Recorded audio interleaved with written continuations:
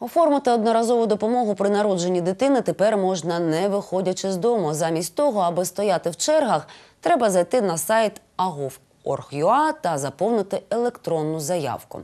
За 10 днів отримаєте електронного листа з повідомленням, що до виплати скоро почнуться. Десь за 2-3 тижні. Такий онлайн-сервіс став доступним тільки з понеділка, та вже на сьогодні надійшло три заявки. Користуватися цією послугою поки що можуть тільки мешканці Дніпропетровська. Та вже за кілька тижнів вона стане доступною і для всієї області. В обязательном порядке отсканировать свидетельство о рождении ребенка Да, вот, вот это и понял. прикрепить файл и ИНН. ИНН, да. Копия паспорта уже подтянется в этой системе, а эти два документа нужно отсканировать и иметь при себе в электронном виде. 3000 человек ежемесячно обращаются за этой услугой в Днепропетровской области, из них 900 а, в самом городе Днепропетровске.